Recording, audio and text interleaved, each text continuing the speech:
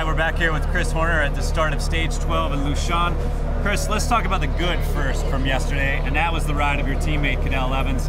17 seconds down from the three the three leaders. You know, real good day. Solidified his place in the GC. You got to be happy about that. Absolutely, Cadel was fantastic on an incredibly difficult day.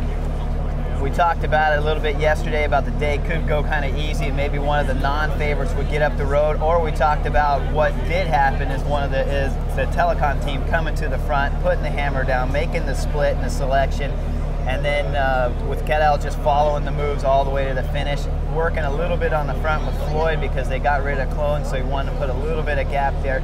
Willing to give up the stage, basically, chance of winning the stage in order to put a little more time for GC is, what his idea was behind that. So it's a fantastic ride for our team yesterday with Cadel. You couldn't ask for anything better. He's in a perfect place for GC. We don't have to ride the front, but he's still close enough that if something happens, he can jump right in the move if he has the fantastic legs again. Okay. You mentioned Andreas Klöden. Not such a good day for T-Mobile. They, you know, they put an attack down on that second last climb, the Portillon. Didn't work. They suffered a lot of damage on the last climb. Absolutely. I think one of the worst moves I've seen done ever next to last year when they did the same thing when they were chasing down Vinokourov going up the climb.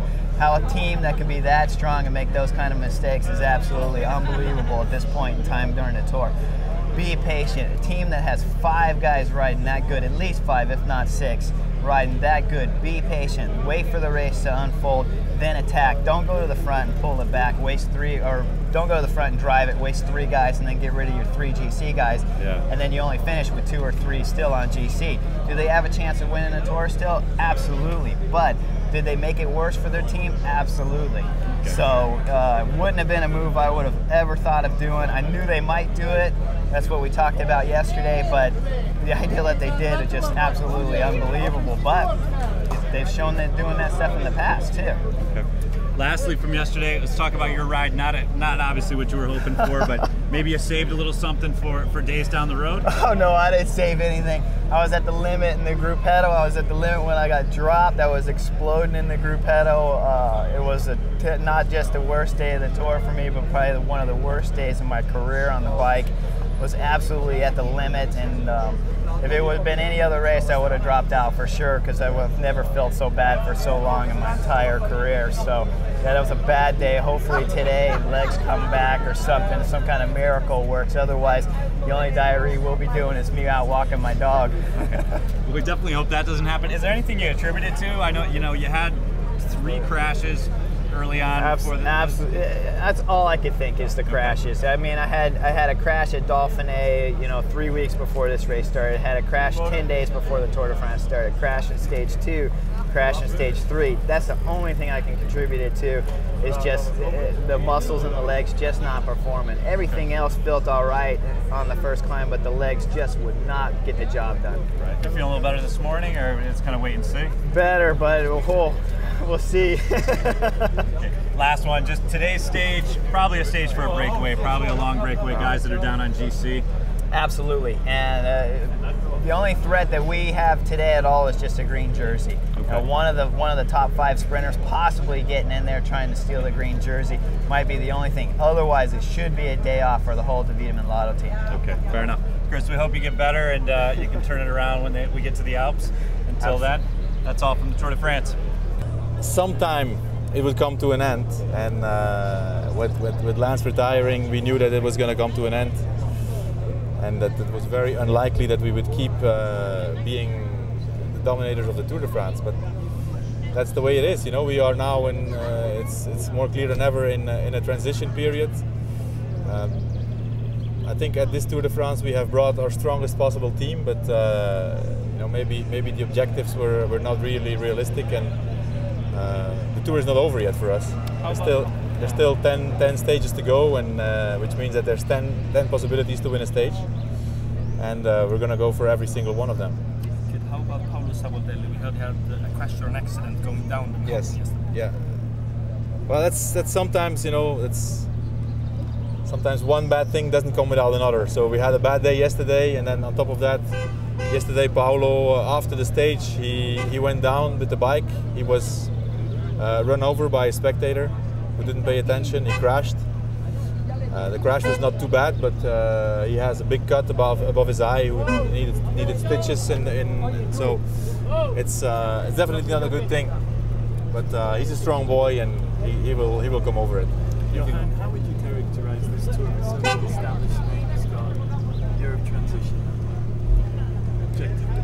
Uh, how would I categorize? this? Characterize. Characterize. Uh, I'd say it's uh, decaffeinated Tour de France. With uh, a lack of uh, outstanding riders who, who attack.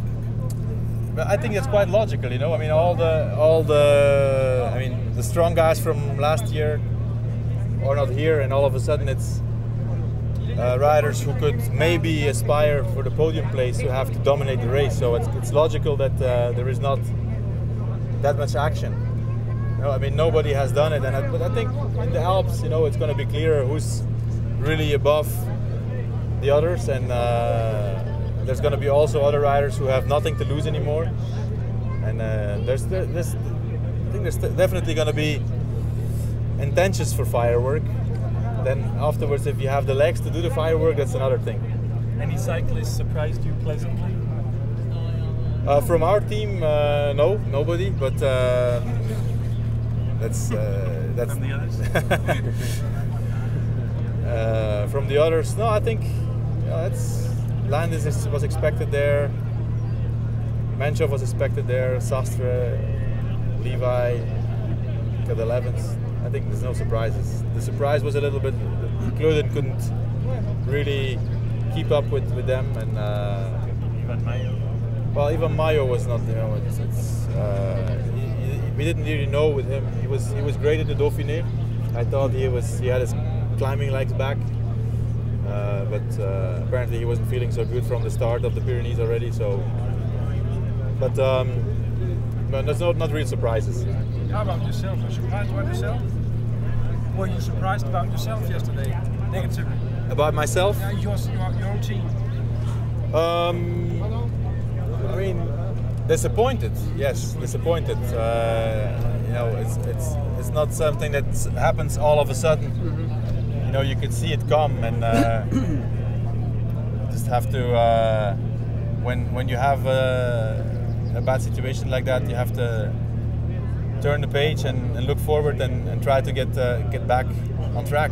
You know, so. How uh, can it be explained? I mean, many of the guys are the same guys who've been along Armstrong for the last couple of years and being capable of controlling the race until the last climb, actually. And now all of a sudden they're, they're just more or less gone. Yeah. How? Well, you know, it's it's a, it's a completely different different situation. They we, we we definitely missed that strong, unique goal to fight for. You know, uh, the first week we've been paying attention, riding attentively, but uh, not really knowing what we could expect. And uh, and also yesterday, we, we knew, of course, that we were not going to win the stage or win the Tour de France yesterday, and um, I think physically they're okay. It's just, uh, I mean, they're definitely not with with the very best for the moment, but um, it's it's a bit it's, it's it's a bit a new situation for us and and, and also for me. So it's of course uh, not not not very. I'm not very happy to to see what happened yesterday, but at the same time, it's also a good moment to really analyze the situation of the team and how we have to look forward and, and do things in the future. What you need is a new leader. What you need is a new leader then, because Or what we need maybe is no leader at all and uh, and have no stage hunters. And uh, we started with ambitions for the for the GC. Um, so it, it all depends on, on, on the attitude of the team now in the next in the ne- in, in, in the second half of the race. You know. but you, you said that um, there's not that one unique strong goal anymore to work for. If you have a new leader, then you know that that one unique. It's not the strong- same. It's not the same, but because right now, who can tell he's working for that strong goal with guarantees to win? Mm-hmm. It's not the same. Yeah. You know, our guys, you cannot. I mean, when they started the Tour de France in the past, they knew that Armstrong was strong It was a guarantee. and that without a crash or an illness, he would win. And that just makes a big difference, you know. if, if you have to kill yourself for somebody and you know that he's gonna be in yellow in Paris and you're almost sure if he doesn't crash or get sick, it's a completely different effort rather than having to try to follow mm-hmm. somebody somebody else who if you do- so we, we, we have to change we have to change the chip and you cannot change the chip from one moment to the other it takes a transition period for that and Is there is there one guy on the peloton who can who has this? Take it over. Capacity. well right now I don't think so I don't think so I mean there's definitely going to be a Tour de France winner Yeah. And I don't know who's going to be but uh, it doesn't mean that this guy is going to win the Tour de France next year so maybe the mentality the team has to change. Definitely. They have But to, I think it's a, it's, it's not only the, the riders. I think it's the, the, the mentality of the whole team, and yes. to be able to do that, we cannot say, okay, now Armstrong is gone last year, but we are another team. they have to they take Yeah. time to adjust We have to- situation. We have to adjust. They have to adjust mentally. Maybe I will have to do some changes in the team. Uh, learn. From, I learn from this also, of course, Yes. and Mhm. maybe in uh, the way we are gonna compose the team for next year, I will have some lessons here in this Tour de France also. Okay. Do you think there was too much pressure put on this team with you know things like the race to replace promotion and you know all this you know who's going to be the next Lance? Do you think that maybe got to guys like Hincapie? No, I don't think so. I mean, if you had to do it again, would you want that promotion promotions like that to continue? I mean, Yeah, why not? Why not? I mean, there's there's uh, one thing is the race, and one, another thing is what a sponsor does with uh, with with with his brand, you know. And uh, I'm, I mean, the race to replace is a great is a great thing. I think that's it's been there's been a lot of interest for it, and ultimately, uh, a sponsor invests in the sports to get return, whether if it's good or not so good, but as long as the people talk about you and that people think about you. So I think the race to replace has been a great, a great uh, idea. What do they do with that show now? Well, the show is over. The show will run until the Tour de France started, and now people are watching the Tour de France. So Johan, would you say that? Well, you sometimes just don't know. I mean, I don't. Right now, I don't really know where I'm going to go after the tour. I'm going to go to Dijon and spend time with my wife and her family, or am I going go back to Girona, or am I going to do some criteriums? Like right now, I don't. I don't know. So it's, it's always hard to keep up with that. And every time but it's you have to important, you know. Yeah, yeah, yeah. But you're in favor of uh, the tougher rules and the. Yeah, yeah. I mean, it's it's it's obviously an inconvenience, but it's it's definitely important. It's cast a shadow over this tour, I guess, in some ways, with- with the Basso and the whole. Yeah,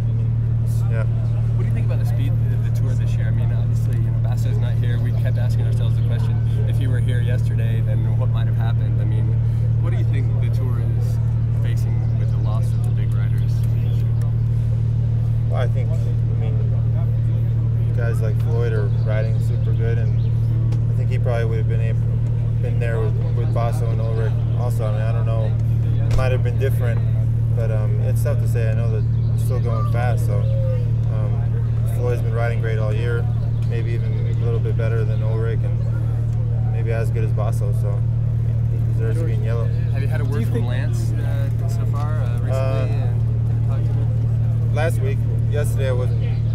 I was just spending time with my family, so I didn't talk to anybody. Melanie's here again today. Uh, yeah, but she's going home. Okay, okay, a couple from you, and then he's got to go. Great. Thank you. Jordan, do you think maybe there was more pressure on this team than was fair with things like the race to replace and you know just the who's going to step into the shoes? I mean, it's sort of a natural transition, but but you know, impossible task to do. No, I mean we.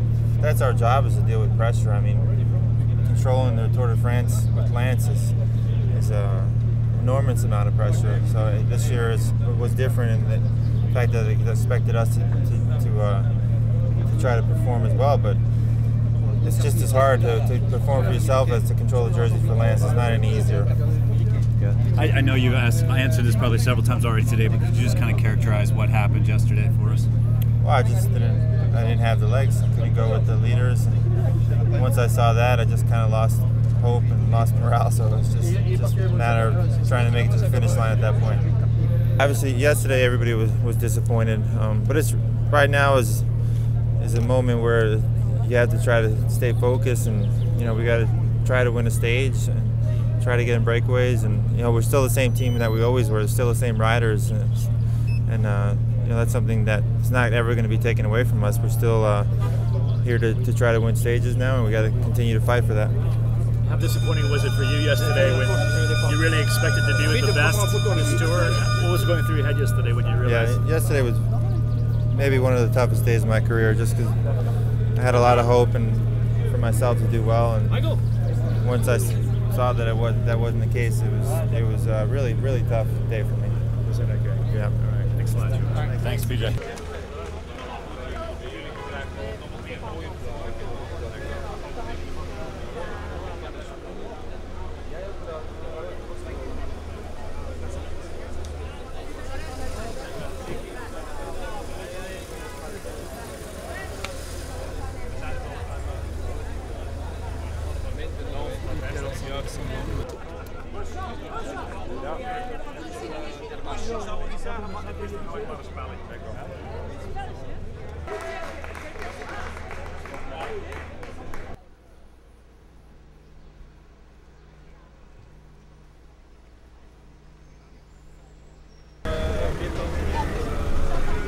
voor een aanval op plaats. Maar het ging niet gemakkelijk. En het, heeft wel, ja, het ging niet gemakkelijk, maar ja, we moesten het proberen. Anders was hij altijd verloren tegen Freire. En kijk, Freire moest gewoon afwachten. Bedankt. Okay.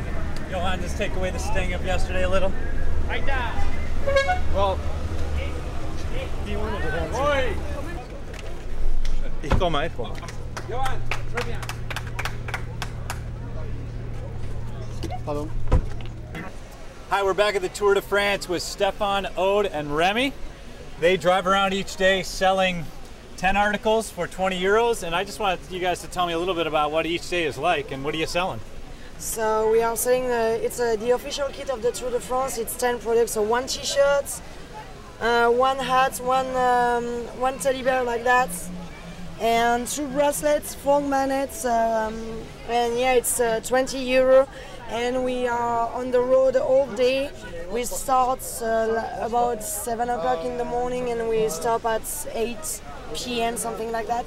Every day you start at the start in your van here and you hang out there for a little while and then drive the whole course. Is that how it works? Yeah, we do that. We uh, we are beginning at uh, the G part of the road and go.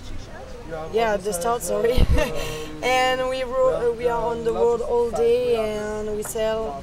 Uh, when we see people, we say stop and go and speech with them and say, okay, it's the official kit. It's 10 product for 20 euro and yeah. Okay. How did you get this job? Uh, it's the summer job for me, and uh, uh, for for him, for Stefan, is a training period. So uh, we know the Tour de France uh, in France, of course, and we send we send uh, our CV, and that's all. On, on a good day, how many of these bags do you sell? Uh, normally, I think a good day will be 255 kits, something like that. But this year it's quite different because of the reason of the tour with people. So a good day it's 200. Okay. Do you all take turns driving, or does one person drive and the other two sell all the time? We change a little bit Yeah. because uh, I'm a little bit tired. So Stefan is a very good driver, and uh, we get a, a lot of fun uh, on the Tour de France because uh, all the people are, are very funny and uh, in, on the road. Uh, it, it, it's a party everywhere in uh, each uh, village, in each uh, city. So it's uh, very funny. What are some of the craziest things you see out there? Costumes or parties or what? All, all, all the people are, are, are telling because of the caravan, and uh, the caravan uh, uh, give a lot of things, and uh, we are just uh, selling things. Sure. So uh, all the people are uh, casket, casket. casquette. So it's very funny because uh, we are just selling, and it's very difficult because uh, the caravan is giving things. So. Um, we are a little bit um, a little bit a little bit amazing because people are very happy but uh, when we arrive it's um, they have to, to pay so but uh, Yeah, they are okay. funny too Do you guys ever get to see the race at all? Or are you always just out in front of it? We are in front of it. Do you know? Do you know who's winning the, the Tour de France right now? really? No. Do you?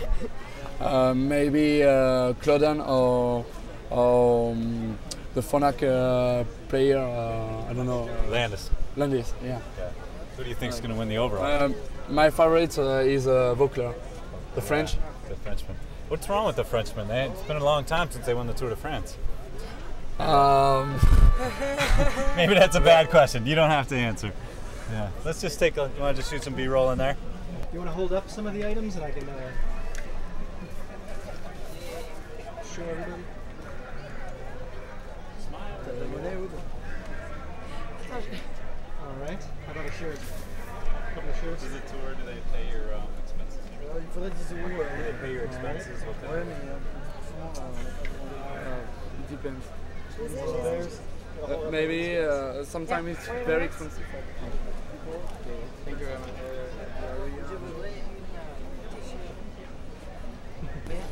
It's 20 euros. Thank you very much. Thank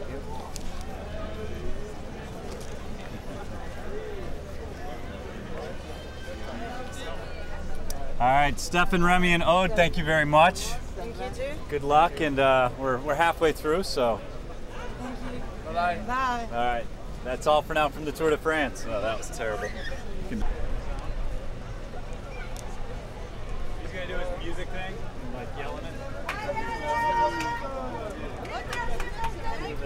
Rien que pour vous ici à Carcassonne. Est-ce qu'on est chaud ici à Carcassonne? Nous rien que pour vous le kit officiel. Les 10 produits pour seulement 20 euros, messieurs, dames. Le t-shirt, la casquette, les 4 magnettes, les 2 bracelets et le petit porte-clés ourson, messieurs, dames. Alors, on approche, on approche.